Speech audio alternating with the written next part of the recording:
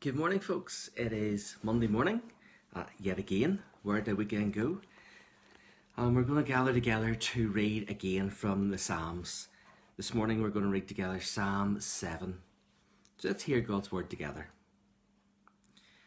I come to you for protection, O Lord my God.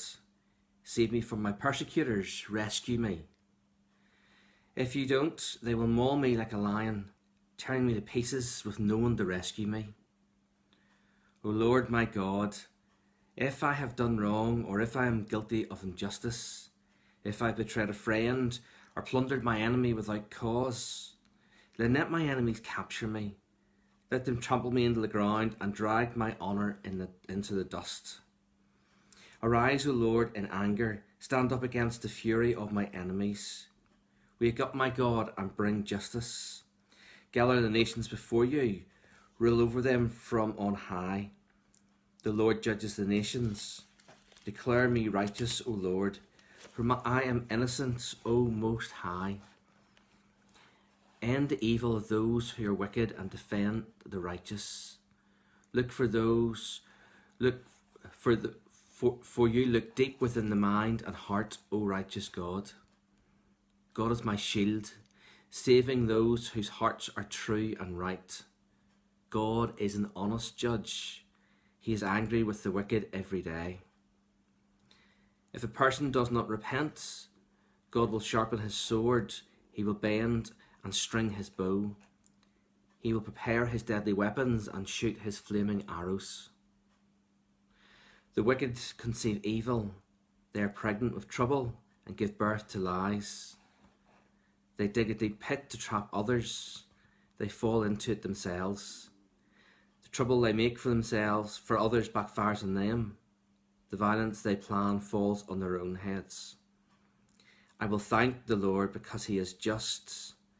I will sing praise to the name of the Lord Most High. Amen. Psalm 7.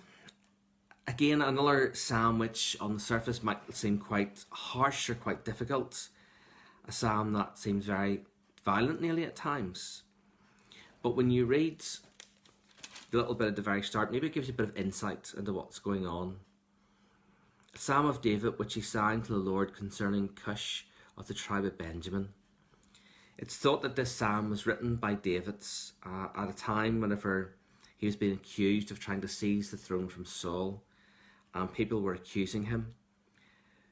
David didn't try to seize the throne from from from Saul uh, from, Saul, he was told in the end that he would be king, and that was God's anointing.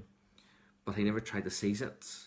But yet he's being accused of that. He's been accused of, of trying to take it by deceit. He doesn't go out to judge the people themselves. He doesn't go out to look for justice himself. He asks for God to do that for him. God is the only one who is able to judge us, the only one who can sit impartially and judge fairly and evenly through us all. So David appeals to God. It just reminds us that, you know, people can be really nasty to us, people can be really horrible to us. And a natural reaction is to to lash back, to give to them what they're giving to us, really, um, to want to get our own revenge. But we shouldn't. We should leave it with God we should leave God to, to deal with things um, in the right way. It's interesting towards um, the end, it talks about those who are, who are trying to do this evil against David. They dig a deep pit to trap themselves and they fall into it themselves. The trouble they make for others backfires on them. The violence they plan falls on their own heads. You, you know, you, you think about the wee phrase that we use in, in earthly terms, what goes around comes around. Um, it's nearly that sort of sense, you know, just, just, just leave them be just, just don't you try and retaliate. It'll come back on them themselves. God will judge. And in that last verse, I will thank the Lord because he is just. I will sing praise to the name of the Lord Most High. At the end of the day, it is always God. It always has to be God because he is the only one who is just. We have to leave things in his hands. It's a hard thing to do sometimes we want to retaliate ourselves. We want to, to lash back out. We want to as we say, stand up for ourselves and not let somebody walk all over us. But it's down to God. When somebody starts doing the gaps, as Jesus said, turn your other cheek. Don't lash back. Leave it with the Lord. He's the only one who can do it fairly and justly, and He will. And He will always take care of things. And we will all have to answer for our actions one day. And that's a scary thought. But thank you that we have a just God, a God who gives us love and a grace, a God who cares. A few thoughts for the start of the week. Let's pray together. Father, thank you for another day. Thank you for your safety and provision to us overnight. Thank you that yesterday we were able to slow down and switch off. Uh, we were able to gather in a different way to around your word.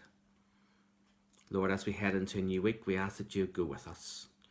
We ask that you you would protect us, that you would guide us and direct us, that you would show us the new way to work, being considerate of others, that you would give us the opportunities to be able to speak for you through action and through word, that we'd be able to let others know just how much you love them this week. And Lord, if somebody does do something wrong to us this week, help us not to retaliate, but help us to leave everything in your hands, knowing that you always are there for us, that you're the only one who is true enough, just enough, upright enough to do any sort of judging because we know, Lord, every time we point a finger, there's so many pointing back at us because we are imperfect. So, Lord, thank you that you are the perfect one, and we leave everything in your hands.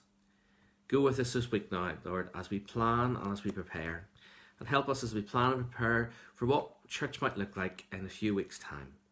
Help us, guide us, and direct us. For in Jesus' name we pray. Amen.